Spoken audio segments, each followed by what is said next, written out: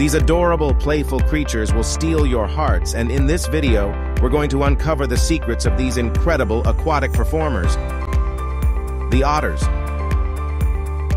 Otters belong to the Mustelidae family, which includes other members like weasels, badgers, and even wolverines. These charismatic creatures can be found in various habitats around the world, from freshwater rivers and lakes to coastal shorelines.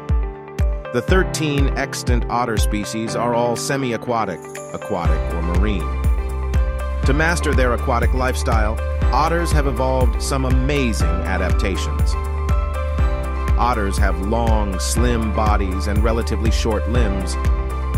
Their most striking anatomical features are the powerful webbed feet and strong tails, making them excellent swimmer and their seal-like abilities for holding breath underwater.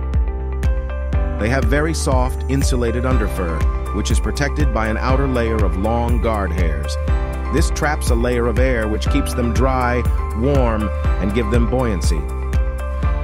Otters are also known for their strong family bonds.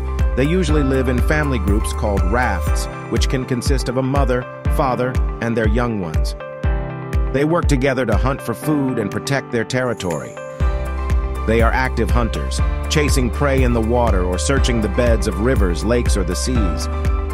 Some otters are experts at opening shellfish, and others will feed on available small mammals or birds.